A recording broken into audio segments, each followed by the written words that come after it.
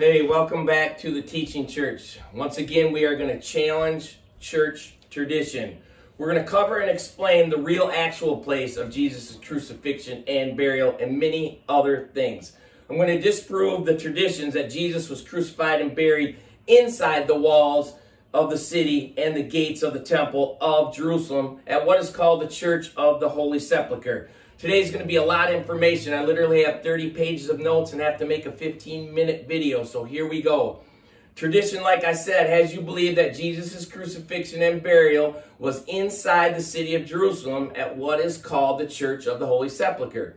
That site is visited by thousands of people every year, and that site was founded by Constantine and his mother Helena in the 300s. That site was actually a pagan temple, Venus, built in 130 AD by the Roman Emperor Hadrian. Hadrian was just another Roman emperor that hated the Jewish people, despised them, just like Constantine did. You have probably heard Israel called Palestine. Hadrian is the one that came up with that name to stick it to the Jewish people. Okay, there's a whole story behind that. He also renamed all of the maps Palestine. It's not Palestine, it's Israel, and it will always be Israel. Many of your maps in the back of your Bible probably still have that name Palestine. So another interesting fact back then, there was a famous church historian named Eusebius. I have one of his books actually. He was Constantine's little scribe and he changed and rewrote some of history and church history to fit Constantine's wants.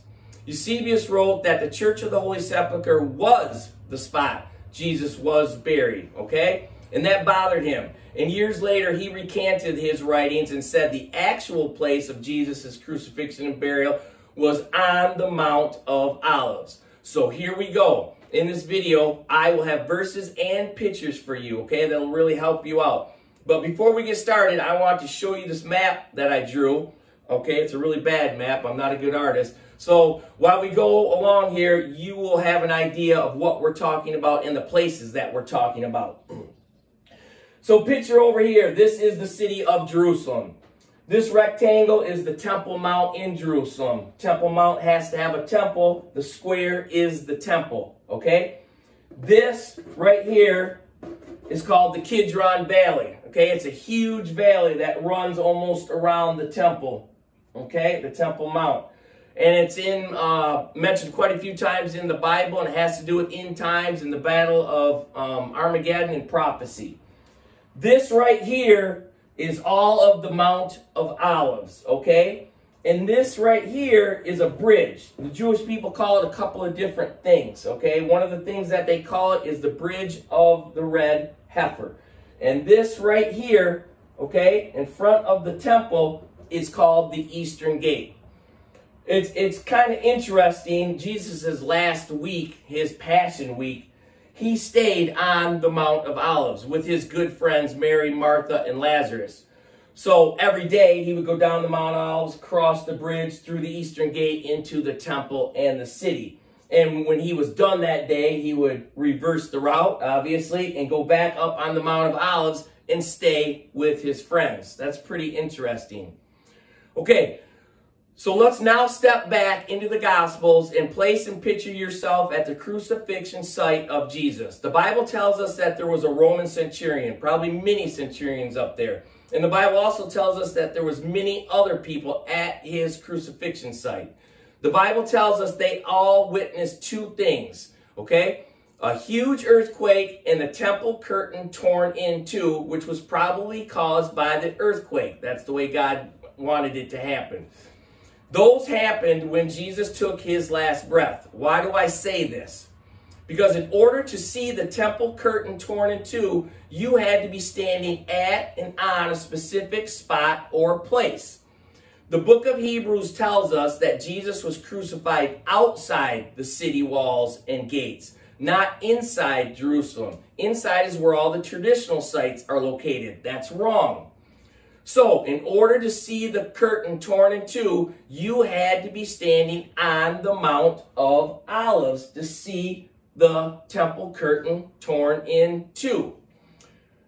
Let me give you an idea of how big that temple curtain was. They say it was like 30 feet wide, 60 feet tall, and anywhere from 4 to 18 inches thick. You couldn't cut it with a chainsaw. To witness that, to see that, that is why the Bible tells us that the centurion said, This truly was the Son of God. So, this is one clue that Jesus was crucified on the Mount of Olives. So let's go on. I want to mention something else. The Bible tells us that Pilate hung a sign over the head of Jesus when he's being crucified. This is Jesus of Nazareth. He is King of the Jews. And the Bible tells us that many people saw that sign and they read that sign. Why does the Bible tell us that?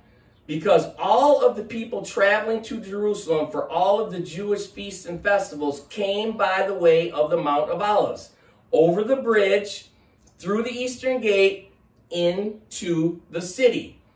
Why were all of these people traveling on the Mount of Olives when Jesus was being crucified? Because it was Passover. Last video, you have to watch that. On the Mount of Olives is where these people read that sign, where they saw that sign. So Jesus was being crucified here on the Mount of Olives. And all the people were traveling here to Passover. So obviously they were able to see and read the sign above Jesus' head because that's what the Bible tells us. Also on the Mount of Olives, it had many mikvahs. Mikvahs aren't baptism. Mikvahs are Jewish baths where they uh, they ritual and ceremonially cleanse themselves, okay? Um, for any of the Jewish feasts and festivals and sacrifices that they have to perform. So they would mikvah themselves heading to the temple, okay? Before they got to the temple, they had to be ceremonial clean to be in the presence of God. And they had mikvahs all over the Mount of Olives, okay? Another clue that Jesus was crucified on the Mount of Olives. Let's again step back into the Gospels. The Bible tells us that Jesus' body was quickly removed from the cross and placed in a tomb. Why? Because it was almost sunset and a Sabbath. Last video. Okay, you got to watch that video. It ties a lot of this um, video together. They had to get him off the cross and they had to get him in the tomb and care for him after the Sabbath. This tomb was owned by a man named Joseph of Arimathea, okay? He was one of the people who took Jesus down from the cross. He was a Jewish Pharisee, just like Nicodemus in the Bible, that believed that Jesus was the Jewish Messiah. The Bible goes on to tell us that there was a garden tomb nearby where Jesus was crucified. This was the tomb of Joseph of Arimathea, the garden tomb. Now, we know that the Bible tells us that Jesus was crucified and buried on the Mount of Olives. Another clue. It's interesting, there are around 150,000 tombs scattered on the Mount of Olives and in front of the Eastern Gate. So this is the Eastern Gate. Remember, there's tombs, graves, and scattered all over the Mount of Olives. They say approximately 150,000. These tombs go all the way back to King David. Today, you could actually buy a grave, a tomb on the Mount of Olives for a cool $1 million. So kids, you know what my next birthday present is, right? Something else that is really cool that I want to mention, okay, since we're talking in these last couple videos about the death, burial, and resurrection of Jesus. It's a verse tucked away in the Gospels surrounded by Jesus' crucifixion verses. It says, just after Jesus' resurrection, some graves were opened and they went into the holy city, which is Jerusalem, and appeared to many. These were some of the graves right on the Mount of Olives where Jesus was resurrected um, because God was giving another sign to people that he was the Messiah. So I just said that there was all kinds of graves here. When Jesus was resurrected, the Bible doesn't tell us how many, but some of these tombs people came out of. And they went into the holy city and they witnessed to people about Jesus' resurrection. God says what he means and means what he says. Those are literal verses. Those are that's a hard one to understand and fathom in your mind, but it's a true verse. This last clue that I'm about to talk about is going to seal the deal. It's called the sacrifice of the red heifer. It's in chapters 19. Most important sacrifice in the Bible besides Jesus's that is never taught.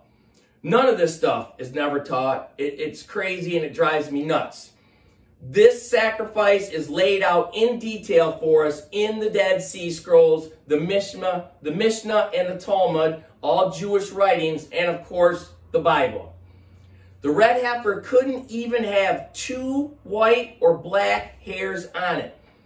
When they raise these red heifers, the uh, priest inspect them from head to toe with a magnifying glass. That's pretty interesting.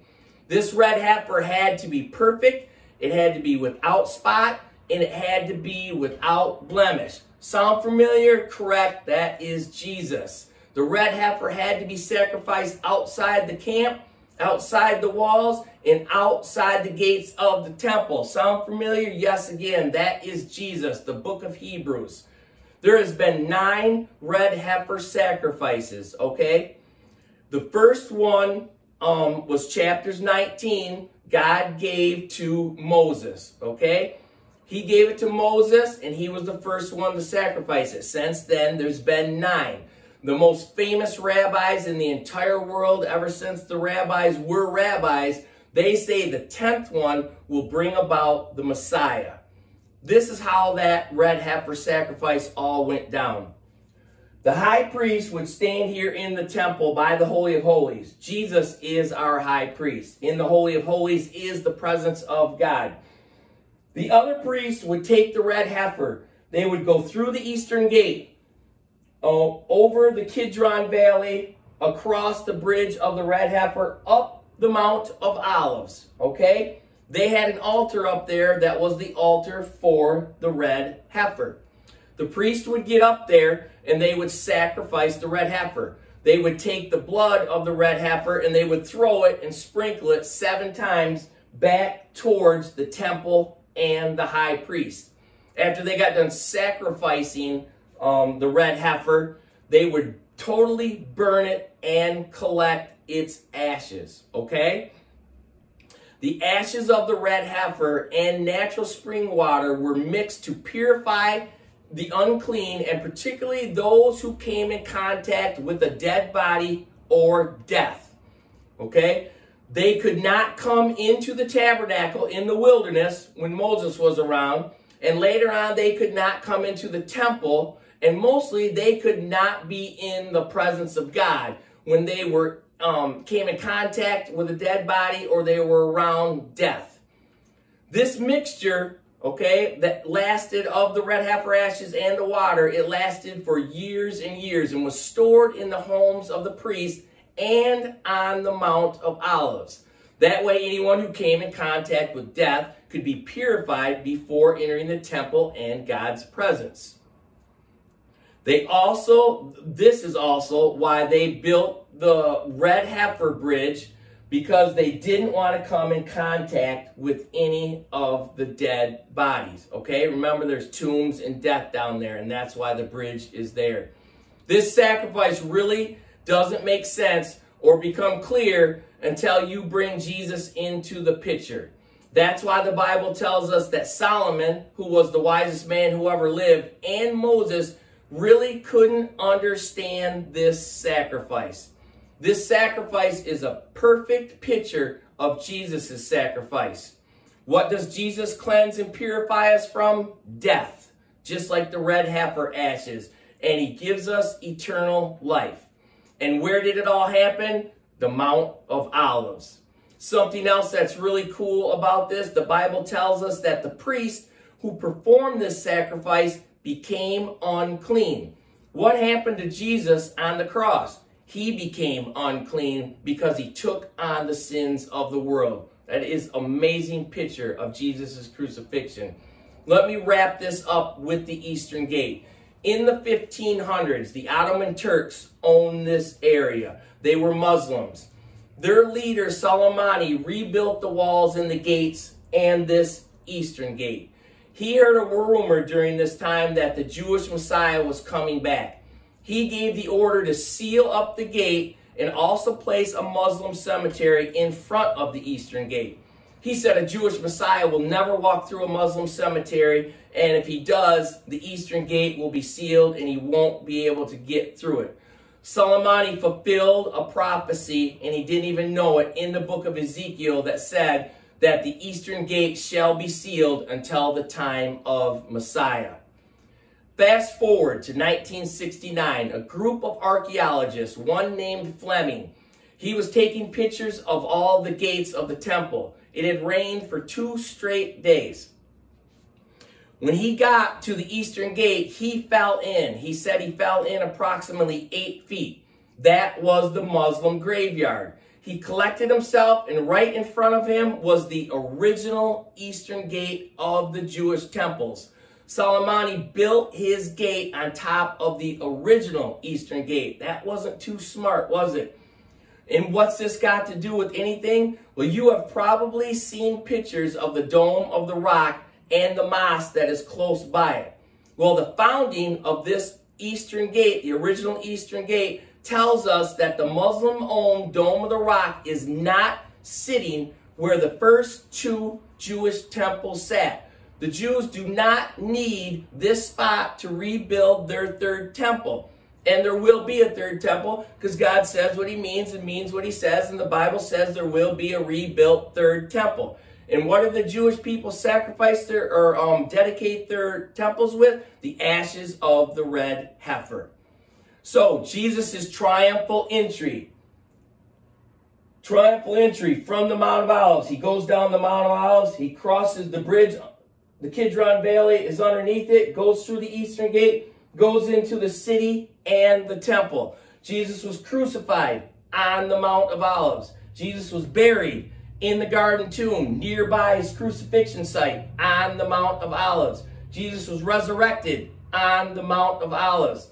Jesus was ascended 40 days after his resurrection is his ascension. He goes back to the Father. The Bible tells us he left from the Mount of Olives and he will return on the Mount of Olives.